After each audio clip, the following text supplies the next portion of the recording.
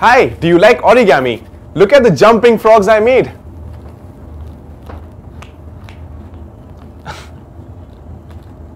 Aren't they cool? Hey, did you know origami can teach you a lot of things?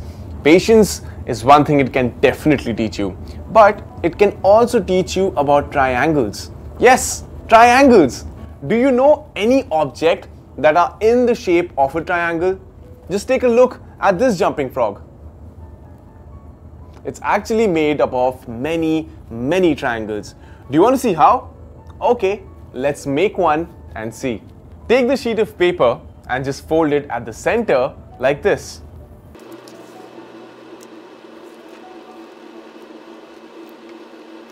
Do you see any triangles yet? No, just two rectangles, right? Hold on, they'll get here. Now, fold the paper like this.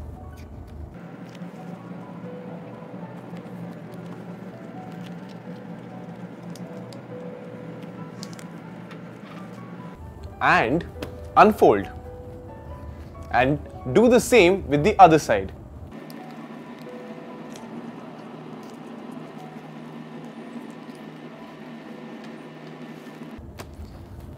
See any triangles now? Yes, here they are. Do you know what the corners of a triangle are called?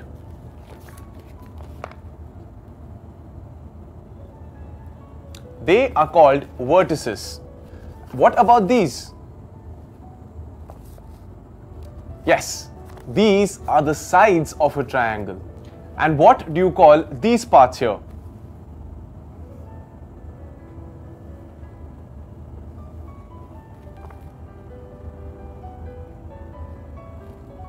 These are the angles of this triangle.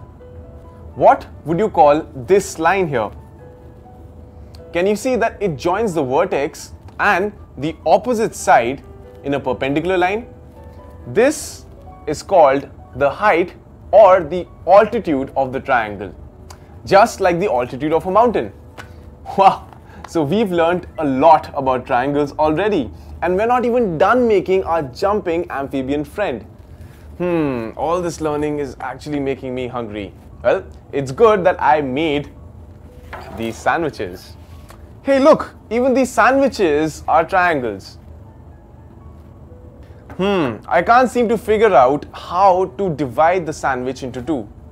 What if I take the center of this side and cut from this point to the opposite vertex? Yes? Yeah, I think that seems perfect.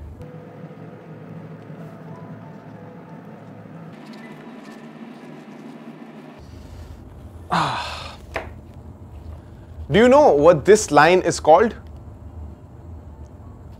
The line from a vertex to the midpoint of the opposite side of a triangle is called a median. Okay, ready for the next step? So now, fold the paper like this.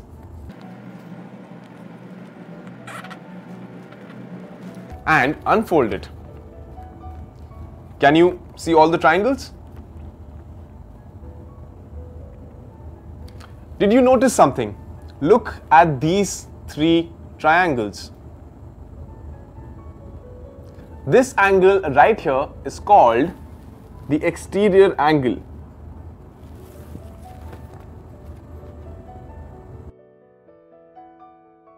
Can you tell me where the adjacent angle to this exterior angle is? Yes, it's this angle right here.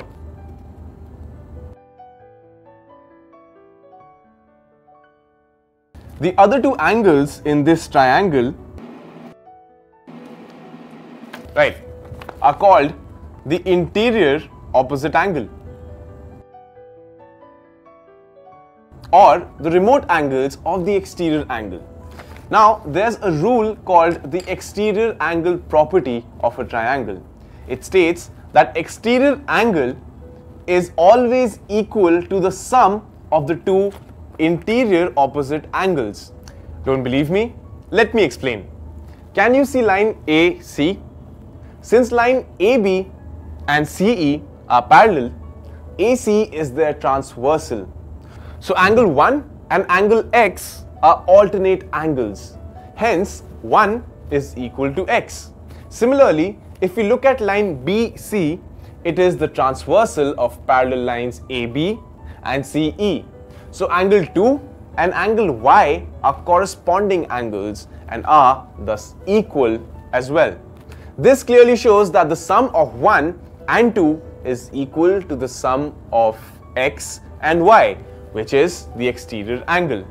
So you see, all rules can actually be proven if you just take a minute to look at the clues. Similarly, we have another rule called the angle sum property of a triangle.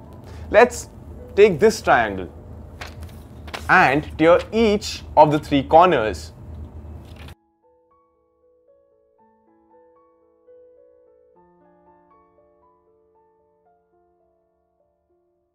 Now just place the corners together like this.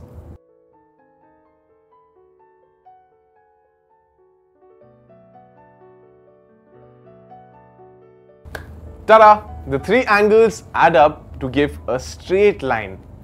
So they make a total of 180 degrees. This is true no matter what the shape of the triangle is. So what have we learned? Yes, that the sum of the three angles of a triangle add up to 180 degree. Hey, we've been learning so much about triangles that we've forgotten about a frog. Keep watching to see what to do next with the jumping frog.